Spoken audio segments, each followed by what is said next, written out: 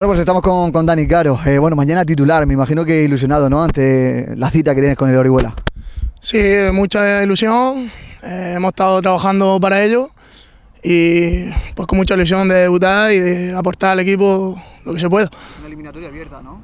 Sí, bueno, es un rival difícil y supongo yo que aquí todo el mundo somos el Lorca y todo el mundo viene a, a, a por nosotros y viene a intentar pasar y nosotros no vamos a ser menos, nosotros, ya lo ha dicho el míster, nosotros tenemos que dejarlo todo y, y es lo que vamos a hacer, el equipo está convencido de que podemos pasar y nada, y a por ello. ¿Te imaginabas que ibas a jugar de, de inicio? ¿Te lo ha dicho el Mister hoy? ¿Lo sabías ya de antes? ¿Cómo ha sido esto? No, eh, os- nos lo dijo el míster. En un entrenamiento dijo que iba a partir los dos partidos, ¿vale? Para, para tener más minutaje los dos.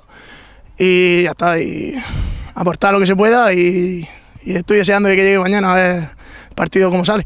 El equipo campeón de, de invierno ha terminado el año como líder, lo terminará como líder y además con ese objetivo de pasar la eliminatoria, ¿no? Sería bonito.